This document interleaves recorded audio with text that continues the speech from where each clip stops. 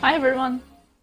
So today um, I am going to do another, well the same thing as the last time, just opposite colors.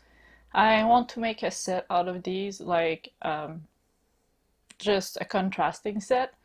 The last painting I did, I'll try to put a picture like here or somewhere, uh, and maybe a card if you want to go see that video. Um, I used blues and a little bit of purple, uh, teal and gold. And today what I'm gonna do is uh, oranges, a little bit of red, a little bit of yellow, a little bit of a uh, kind of a burnt orange just to dull it out a little bit. And metallic blue uh, to contrast with the gold.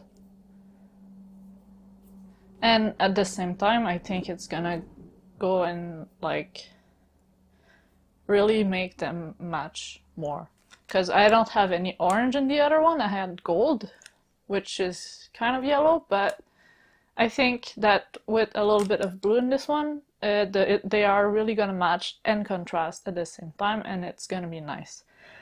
I haven't forgotten uh, about the black canvas and the white canvas comparison. Um, I should have um, uh, like uh, made it clear. One of my cat did something. Uh, well, anyway, I should have made it clear with my friend uh, what kind of colors he wanted.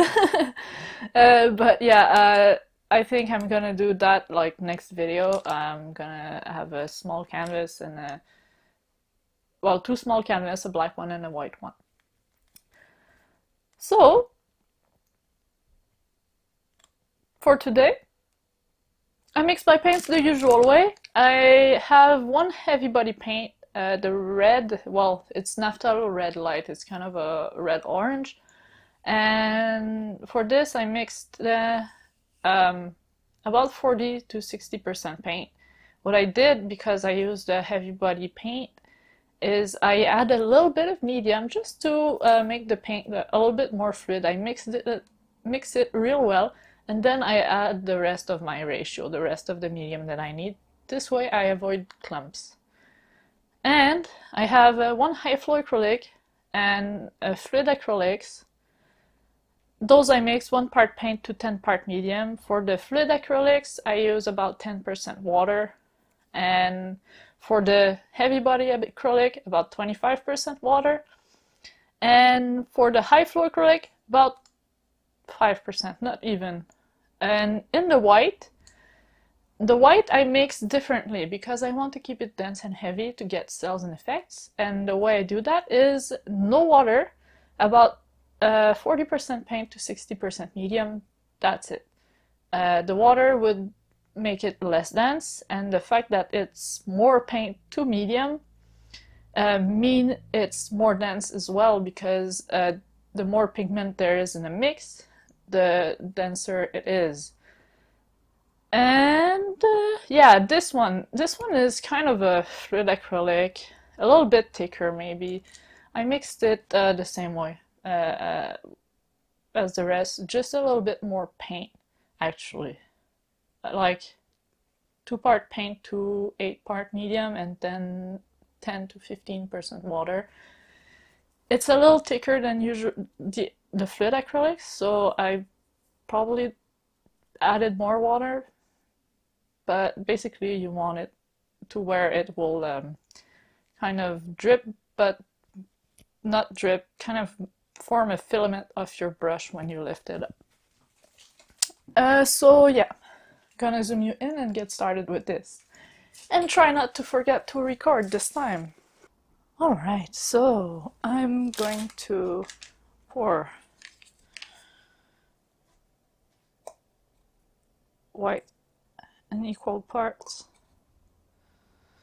My white looks lumpy. I think I had lumps in my GAC 800. It was the... Well, it was almost empty basically.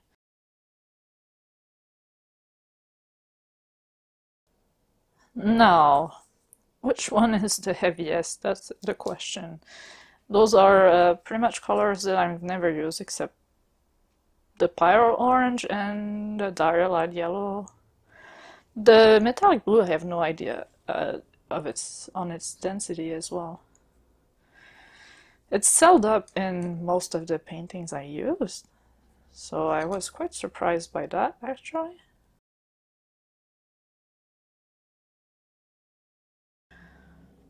I know that Diarylide Yellow is really, really light. That's gonna be the last. Naphthol Red Light is also quite light.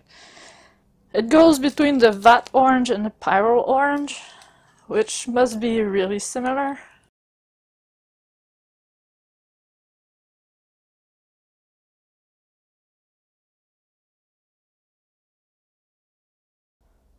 So what I did is put the Pyrrole Orange first, Vat Orange second, uh, well, in the oranges anyway.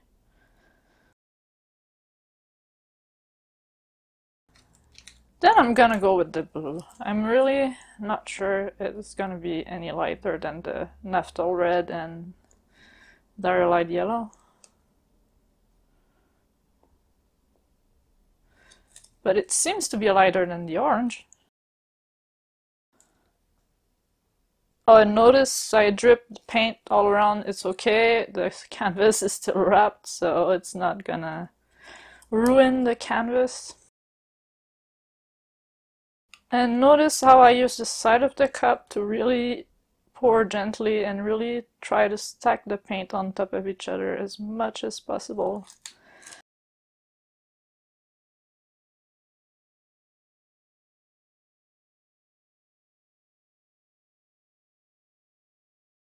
That's done.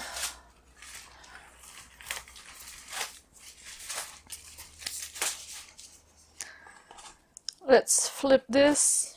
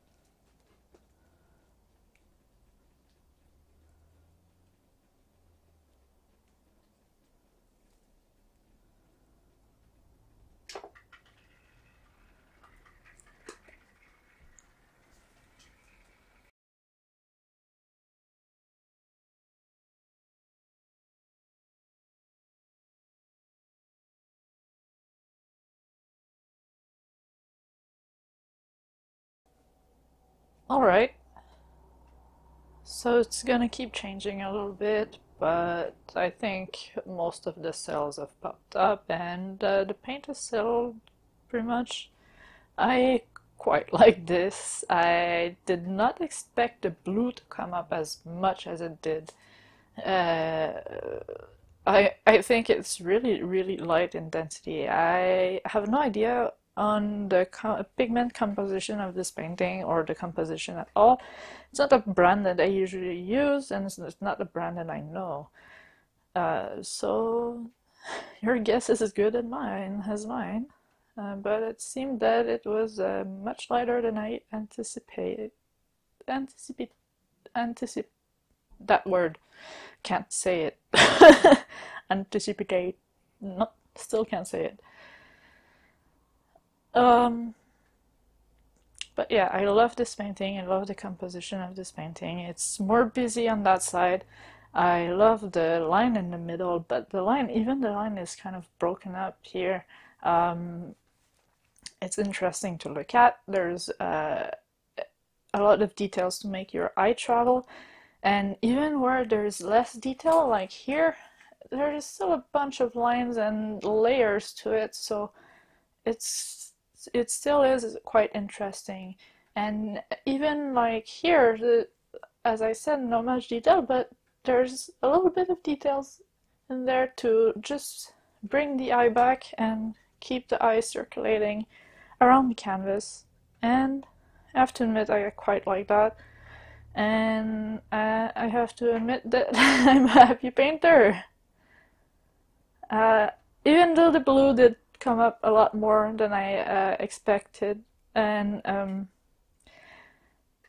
like the other painting is blue with a little bit of gold, and here it's like orange and blue. There's not a little bit of blue like I thought there would be, but uh, I'm not unhappy with it. I love it. The, this blue is really beautiful. Uh, it's shiny, rich, and um, can't wait to see how that will dry. Even wet, we can see a little bit of the iridescence of the blue, so I have to admit that I quite like this. And I'm impatient to see how it will dry. And larger painting take a while to dry, so I'll have to wait a couple days. But you guys are lucky and you get pictures like almost right away. And we're back, and once again, I'm sitting uh, all the way back here. Um, good thing I have my shower curtain there. Uh, it catches a lot of paint. It was a good um, investment.